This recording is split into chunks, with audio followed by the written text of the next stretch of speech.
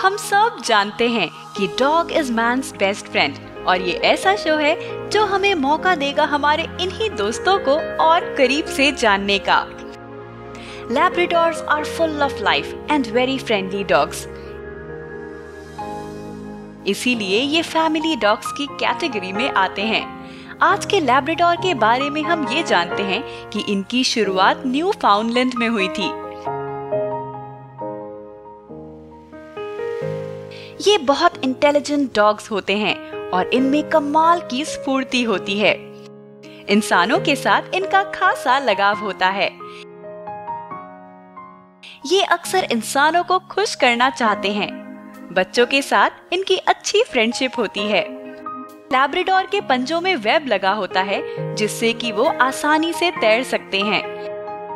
इनकी skin oil coated होती है।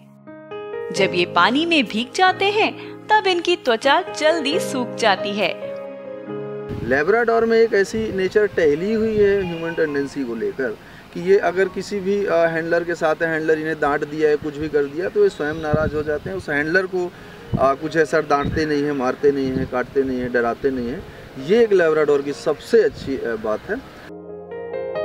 ये देखिए, ये एक सही समय होता है लेब्राडोर के मैटिंग का। हमको इस तरीके से क्लाइमेट चाहिए होता है, एक ठंडा सा क्लाइमेट होता, होना चाहिए। मॉर्निंग में हम फाइव से सेवन के बीच और इवनिंग में सेवन से नाइन के बीच हम इनकी मैटिंग करा सकते हैं। मैटिंग कराने के लिए इनके लिए एक फुल टाइम की ज़रूरत होती है, क्योंकि उसमें ढेर सारी एनर्जी जाती है।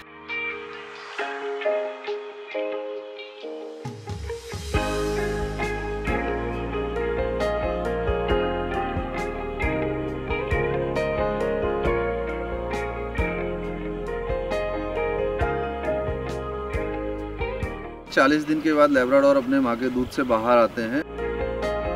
इसके बाद हम उन्हें सेमोलेक से स्टार्ट करते हैं। हमें उन्हें फ़ूड में ट्रांसफ़र करना होता है तो हम सबसे पहले सेमोलेक या सैरोलेक स्टार्ट करते हैं।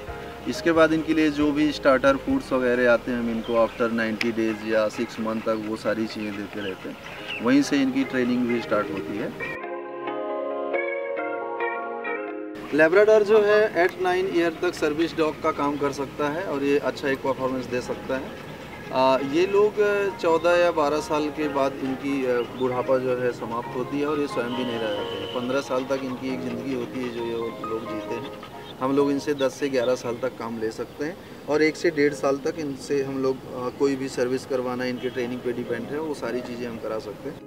लैब्रेडोर डॉग को ऐसे ट्रेन किया जाता है कि इन्हें अगर कहीं दूर से कुछ लेकर आने को कहा जाए तो ये उसे मुँह में बहुत स्मूथली पकड़ते हैं और फूटने नहीं देते।